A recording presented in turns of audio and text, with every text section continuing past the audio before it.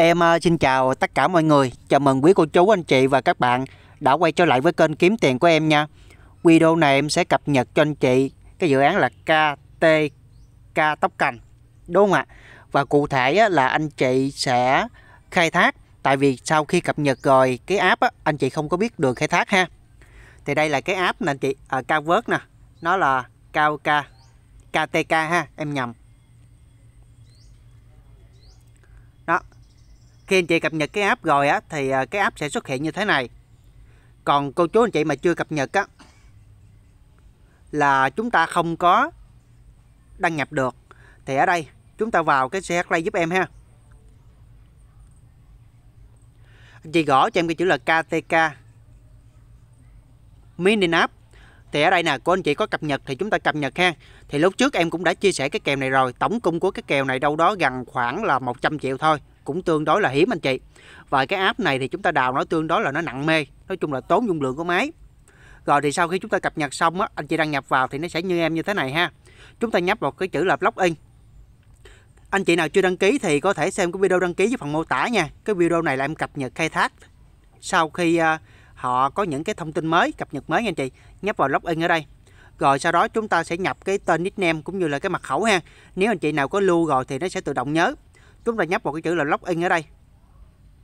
Rồi chúng ta sẽ nhấp vào gì ạ? Chúng ta nhấp vào cái chữ là reserve ở đây nè anh chị. Ở uh, giữa màn hình hang có cái hình bàn tay nè. Đó là chúng ta nhận được như thế này ha 0.5 cái này đào cũng tương đối là ít nha anh chị. Rồi bây giờ chúng ta bắt đầu đào thì chúng ta nhấp vào cái chữ là sọt ở đây ha. Sau đó chúng ta nhấp vào cái chữ sọt phía dưới luôn. Ở đây chúng ta sẽ có cái chữ là mai nè anh chị. Mai có nghĩa là miner đó, chúng ta đào ha rồi, ở đây thì chúng ta sẽ thấy, chúng ta nhấp vào đây. Anh chị nhấp vào cái hình chỗ con ờ, con mèo nè, kiểu như vậy. Rồi chúng ta nhấp vào chữ là sen sen máy niên ha. Đó. Rồi chúng ta nhấp vào sen máy niên cái nữa. Tức là sao ạ? Tức là con bó, con mèo nó tự động nó khai thác nha. Con bét của chúng ta, thú cưng của chúng ta nó tự động khai thác. Rồi, chúng ta thoát ra luôn anh chị. Sau đó chúng ta vào trở lại ha.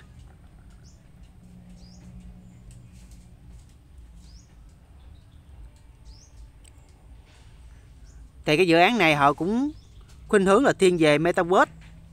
Anh chị hang NFT thì ở đây anh chị thấy nè, cái thời gian của chúng ta là 12 giờ. Thì sau 12 giờ chúng ta sẽ vào kích một lần nữa anh chị ha. Đó, thì một ngày chúng ta tranh thủ thì chúng ta tạo được hai lần. Rồi, ok, cơ bản là như vậy thôi. Ngắn gọn anh chị nha. Rồi, phía trên bên trái là tổng số là 416 này là của em bị khóa cái đồng KTK phía bên phải là em đào được 26 này thì 26 cái đồng này sau này em có thể là nạp rút bình thường. Tại vì cái phần này là cái phần em đào solo được. Còn phía bên trái á, là cái phần mà anh chị ủng hộ em thì mỗi người em nhận được một là KTK ha. Rồi em xin phép dừng video nha mọi người.